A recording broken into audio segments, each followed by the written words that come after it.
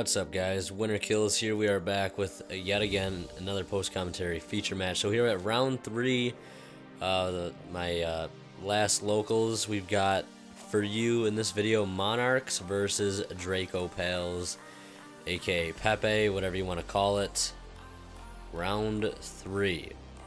Figured I haven't had Monarchs on my channel in a while, so I figured why not uh, try to snag a uh, video of some Monarch plays. You can see he's going to open up very strong with that Arab, not Erebus, uh, Eidos in Domain with a Majesty's Fiend. So not only is he locked out from extra deck monsters, he's also locked out from monster effects.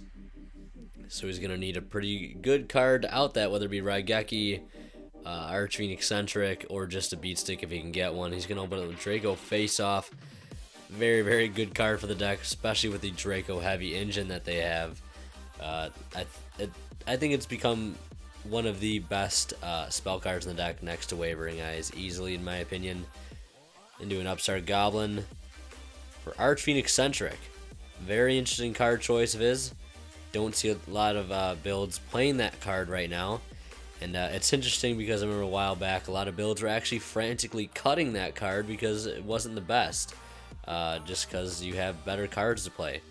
But now that the deck is hindered, uh, it's actually a pretty decent card to play, especially in a situation like this where he has Majesty's Fiend and Domain.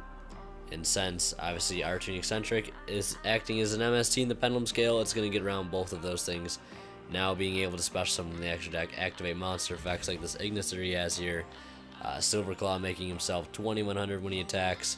Going to be able to out that board pretty easily, all thanks to that Archfiend Eccentrick. Very, very good card choice, in my opinion. Um, always seen a lot of creative card choices coming from the player on the right there. Very seasoned player. Um, never, never uh, underestimates, I should say. So as you can see, Monarchs are going to lose pretty hard game one. Even though they opened up really, really strong, he just ended up having to have the out. And we're all going to see another tech choice here. That is Secret Village of the Spellcasters, I believe. Double Terraforming, to grab Chicken Game and Secret Village. Definitely to be able to get rid of it, no problem with the Secret Village. And if you get that Spellcaster on board, obviously, you guessed it, no spells for the other player. It means no Pantheism. Shutting down the main uh, card of the deck, essentially. Very, very key play. So we got double chicken game. Gonna pay 2,000, draw two cards, resolve that Draco face off. In main phase one into end phase here, he's gonna end up setting a field spell. He's gonna set a field spell because, you know, why let your opponent, especially with a draw heavy deck like Monarchs, let them get an extra draw uh, I definitely think that was a smart play to get that off his field at least. Now he's got Eidos and Domain. To go for the Tribute Summon. And he'll get Warning thanks to Domain. Basically acting as cost down for the uh, Erebus in his hand. Being able to spin a card, but however being stopped by that Solemn Warning. Definitely a key play to shut down. Wouldn't want to lose any more board presence to that. So now that the Monarch player has exhausted both normal summons, it's going to be pretty much over for his turn. Just going to swing in for 19... 1950, I'm not sure how much Luster has, 1950, 1850. And then Silverclaw will bump himself up by 300, swinging for 2100 attack. Gonna go for, looks like Ignister, main phase 2, it'll get Scoldinged interesting card choice. However, I think that's actually pretty common for Monarchs. However, I could be mistaken. Uh, I'm not too sure. Next, Erebus. Engrave will be activating its effect to discard, I believe, a Monarch spell trap to add a, basically any Monarch back to your hand from Grave. I'll special summon the Prime Monarch. Comboing off, trying to combo off with the Domain to, again, cost down. Uh, he'll MST it. And not be able to summon the monster since it's no longer on the field. The field spell, I believe, will no longer be activating as the cost down effect. Or maybe it still will. That doesn't really matter. He has another domain to go grab anyways.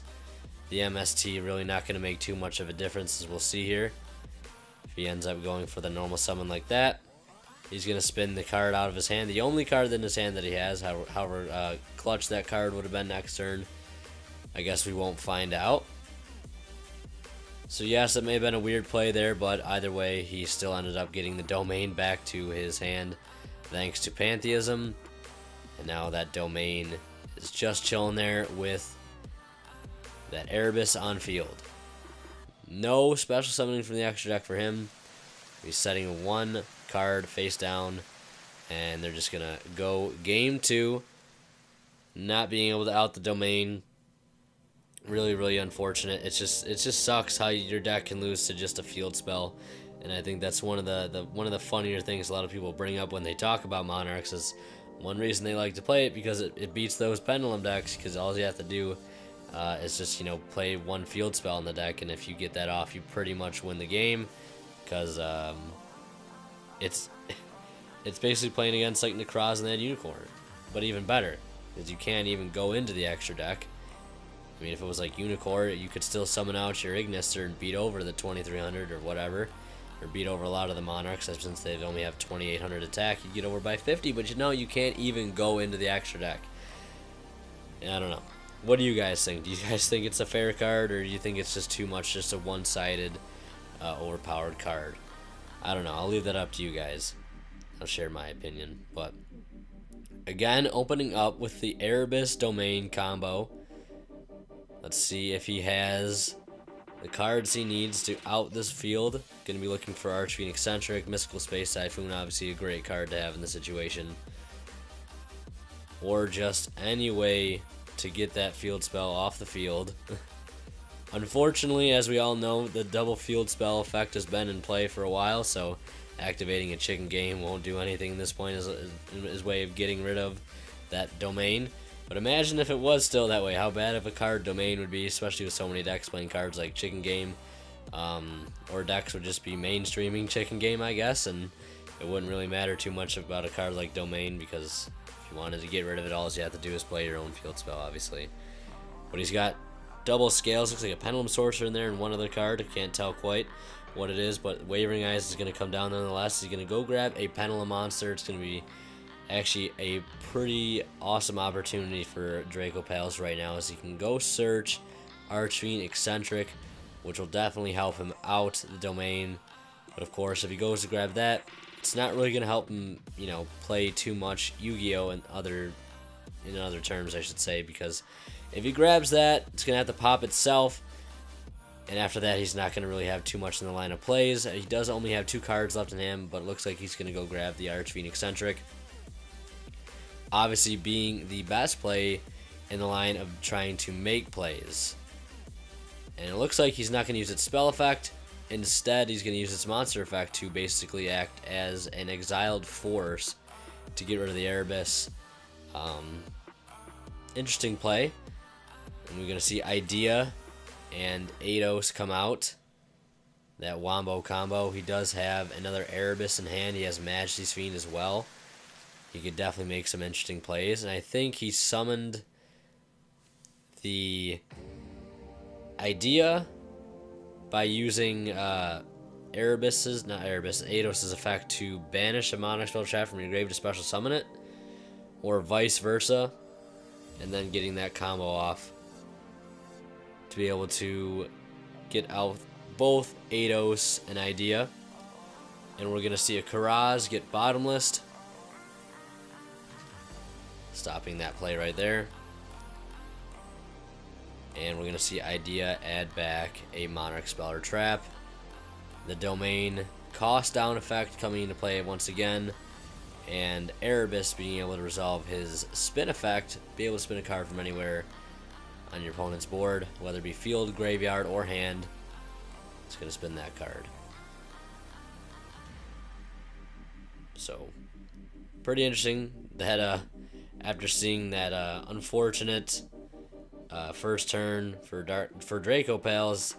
Being able to get the Archfiend Eccentrick, however, not having any follow-ups, looks like it might result in GG at this point. The domain lock is pretty real with this deck. It can be pretty frustrating sometimes. I have uh, luckily not experienced um, this lock too much with playing Atlanteans because I feel like with Atlanteans you can just out that card a lot easier with cards like Infantry, but of course if they have Majesty's Fiend in that card it's pretty much insta game over unless you've got the Twin Twister to out it, which is why in a matchup like this, back row, heavy destruction, definitely a key uh, to surviving a matchup like this or else you're just going to get sacked uh, by stupid cards like Domain, and Majesty's Fiend, Vanity's Fiend, what have you. Cards like that. Triple storm Stormforth looks like it's going to be game over. Monarchs will take the win over Draco Pals as expected or not expected. I guess this matchup could go either way. It just depends on who can see the power plays first, really.